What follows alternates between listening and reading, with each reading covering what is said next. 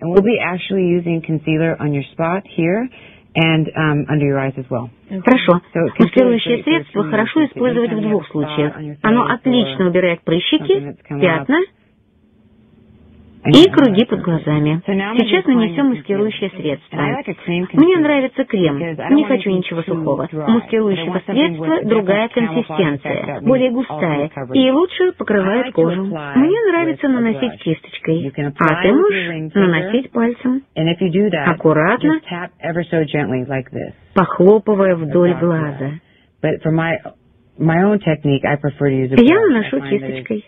Так наносится меньше средства. У тебя красивые глаза, и мы их немножко зрительно увеличим. Я использую темно-коричневый карандаш, нанесу около ресниц. Вместо того, чтобы провести линию на все веко, начнем с середины глаза и постепенно делаем линию толще, к верхнему углу глаза. Сейчас мы увидим разницу. Около внешнего уголка глаза слегка как бы поднимаем его. Теперь возьмем кисть и немного растушуем.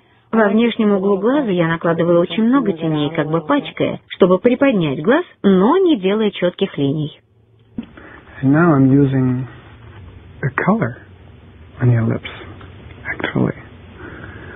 Теперь я использую цветной карандаш.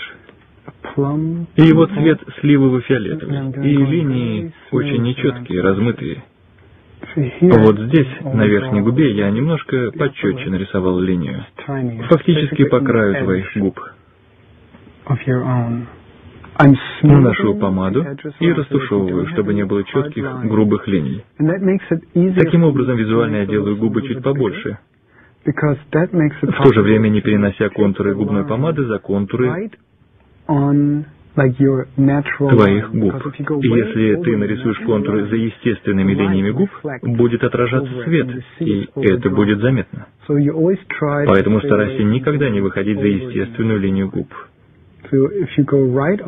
Если нарисуешь прямо на них, все в порядке, но нужно использовать кисточку для растушевки. У тебя замечательные тонкие ресницы. Мы используем подводку и создадим иллюзию более густых ресниц. Для этого я использую темно-коричневый карандаш для дневного макияжа. Закрой глаза. Наносим точно на линии ресниц. Немножко продлим линию. Вот так. Линия на все веко? Да, на все веко.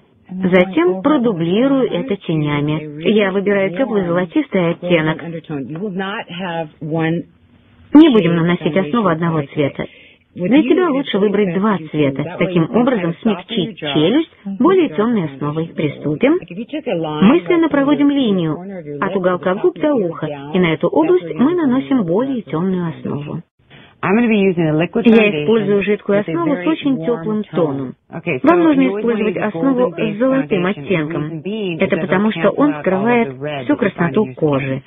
Основа должна выглядеть как твоя кожа, в лучшей из ней. Я не хочу, чтобы лицо выглядело как маска. Мы просто должны подровнять тон кожи. В любом случае, даже если нет красноты, чтобы у вас не было слишком много тонального крема на лице, добавьте маскирующее средство в этой области и похлопайте. Сейчас, Афина, я немного придам форму твоему носу бежевыми тенями.